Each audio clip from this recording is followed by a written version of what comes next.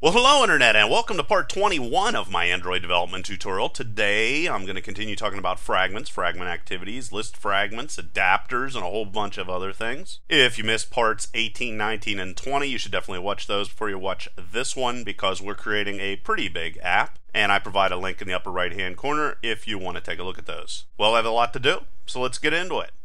Okay, in the previous tutorial, basically what we did was we set up Census app and the fragment container, and we moved in contact fragment, which was to provide for the capability of adding information in regards to name and address and so forth to each one of our contacts. And this is basically what it looked like whenever we were done. And if you can't see this, view it full screen. This is an HD video. Now what we're going to be doing is making our contact list, which is going to hold all of our contacts and show them all on the screen at the same time. To do that, we're going to need to use an adapter to connect to our all contacts, our array, so that we'll be able to display that information. And we're going to display that through an adapter, like I said before. And whenever we do it, this is basically what it's going to look like. So let's jump over in the code and start making it. Okay, so here we are inside of Eclipse and what I'm going to do is go into the graphical layout and start creating what each of the lists is going to look like, what each part for each person that's in the contact list. So basically what I'm going to need to do here is I'm just going to use relative layout because this is for one list item, it isn't for all the list items. Basically what I want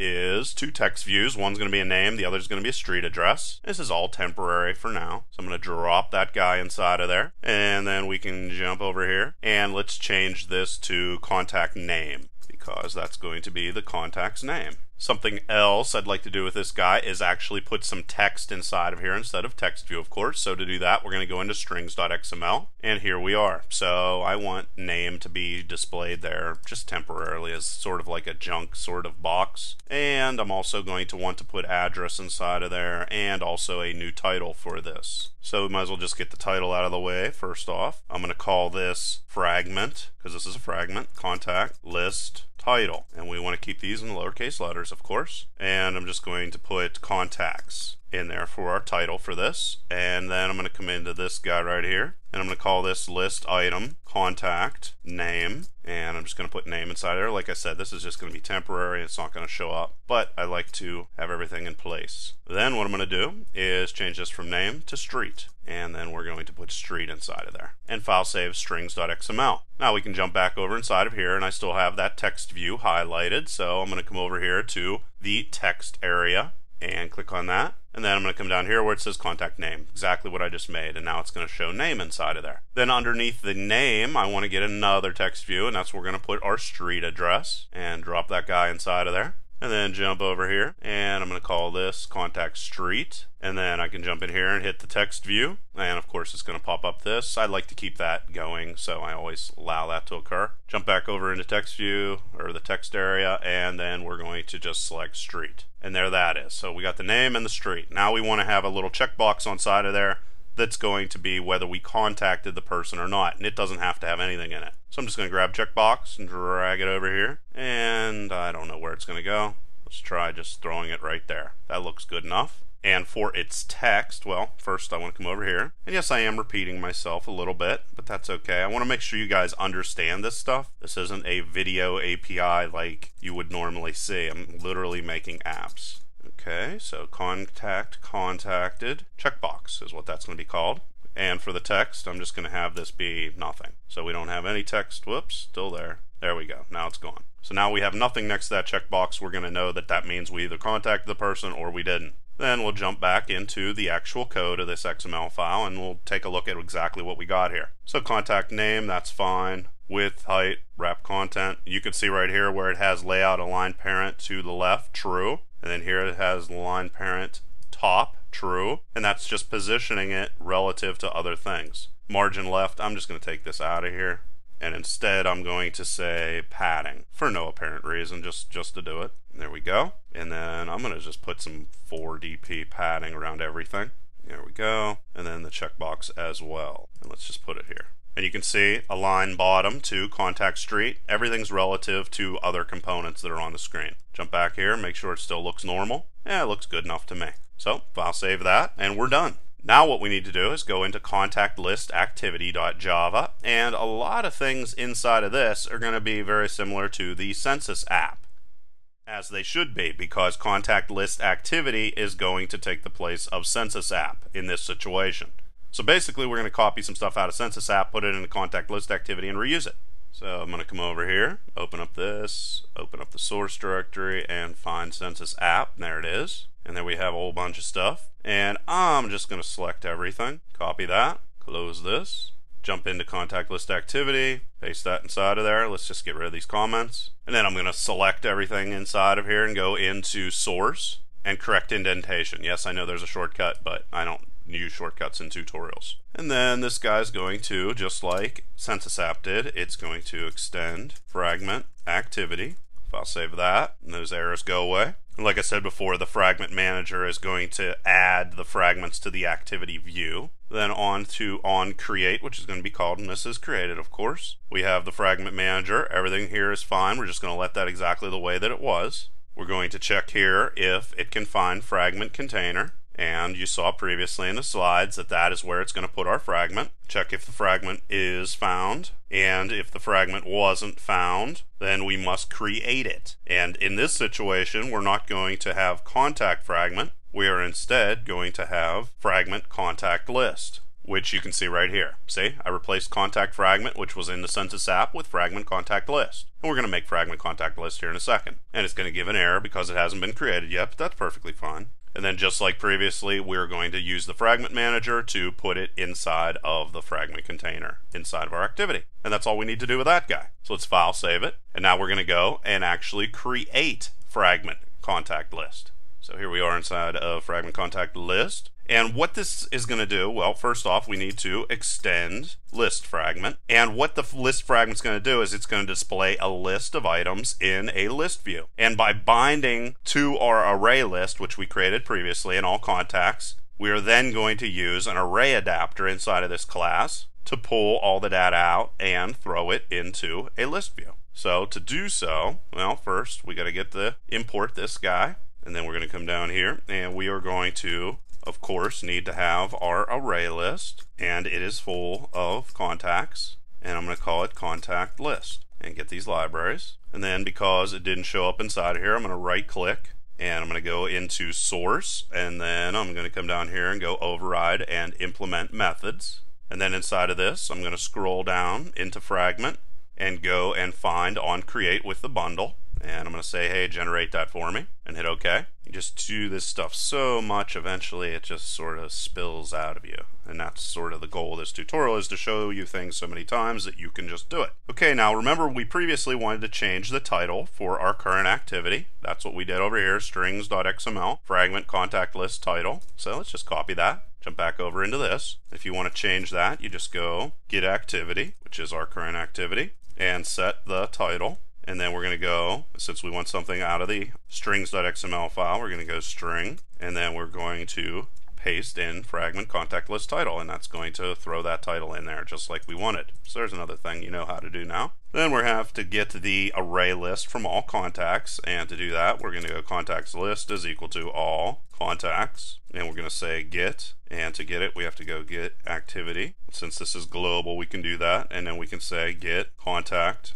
list. And there we go. Now we have our array list and it's ready to go. Then what we're going to do is create contact adapter. We're actually going to extend the array adapter here in one second. And we're going to call it contact adapter. So it's a customized adapter. New contact adapter. And then we're going to pass inside of it our contact list, our array list. Then, after we get that back and it's ready to be put on the screen, to provide the data for the list view, we're going to call set list adapter. And that's going to connect the adapter to our list view. And of course, we have to pass in the adapter.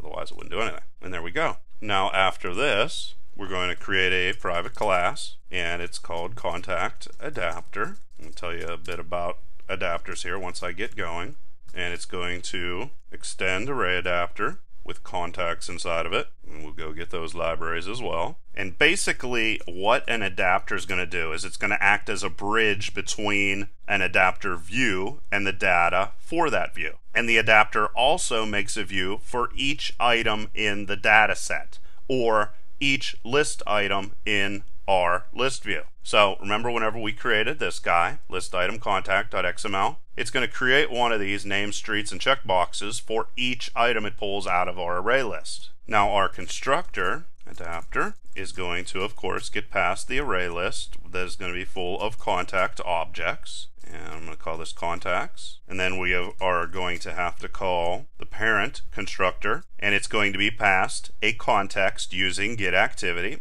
and that's going to be used so that it will be able to use the resource being the simple list item. And then we're going to call Android R layout dot simple list item one right there.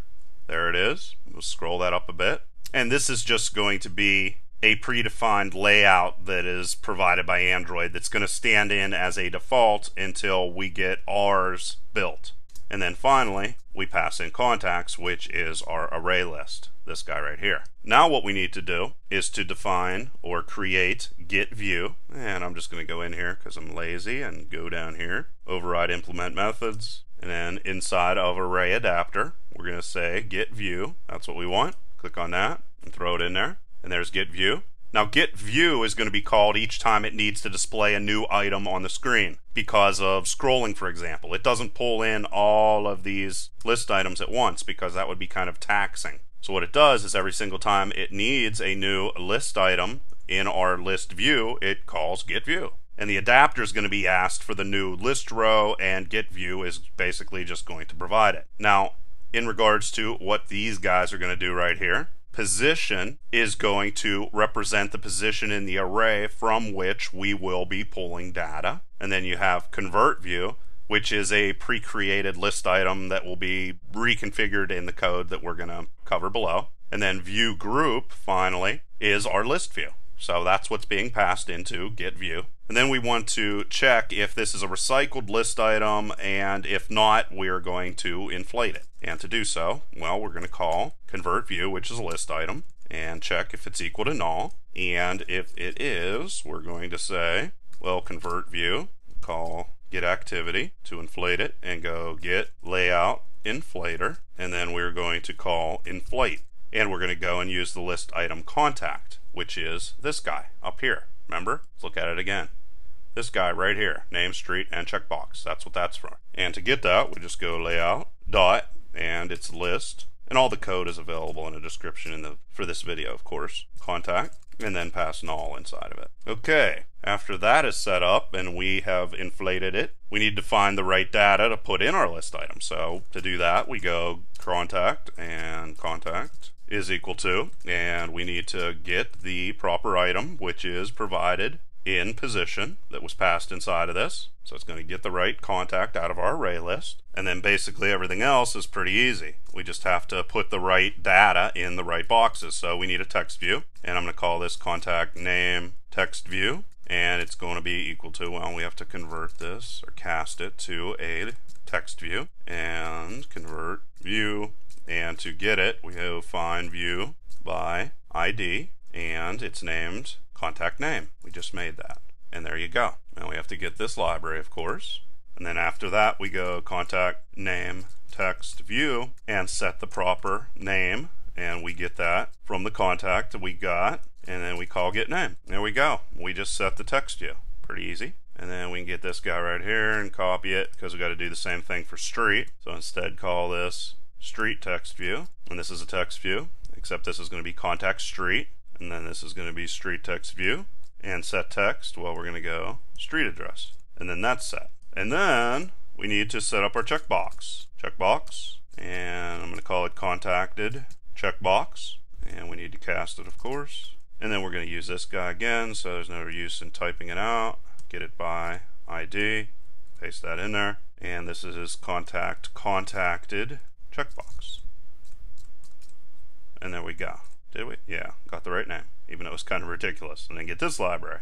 And then to set our checkbox, we just get this guy right here. Remember, it's a boolean, so it's either going to be true or false, or checked or unchecked. And set checked to the contact, get contacted. I think that's right. Yep. And then after we're done with that, of course, we need, now that we have the whole entire list item set up properly, we just go and take it and return it. And that's it, unless I have an error here, which looks like I do. Up, oh, get layout inflator. That's me spelling inflator wrong again. I do that all the time. Don't know why. Okay, save. And we are done with fragment contact list. Now to set it up so that instead of opening up census view, it's instead going to open up contact list activity, this guy right here, what we need to do, or what I'm going to do temporarily, in the future it's going to be changed with a menu system, I'm going to go into the census app manifest, and I'm going to leave the census app inside of here, but I'm actually going to copy this. I'm going to sort of get rid of census app being called by default, and to do that, I'm just going to comment it out because that's easy for me to do. Like I said, we're going to make this cleaner later. Just want to cover as much as possible. And then this guy, we're going to change this. We don't want to open up the census app by default whenever the application's opened. We want to open up contact list activity. So that's what we're going to do. And we don't need to change anything else. This is basically going to open that up by default. And there we go. And we are done. So we can file save it and execute. And you can see whenever we go to execute it, contact list activity is actually shown there. And that comes because we changed our manifest. And when this guy runs, you can see that Paul Smith, Sally Smith, Mark Smith all show up in a nice list exactly like we wanted. So that is a whole bunch of information. Like I said before, all the code is available in a link in the description for this video. Please leave any questions or comments below. Otherwise, till next time.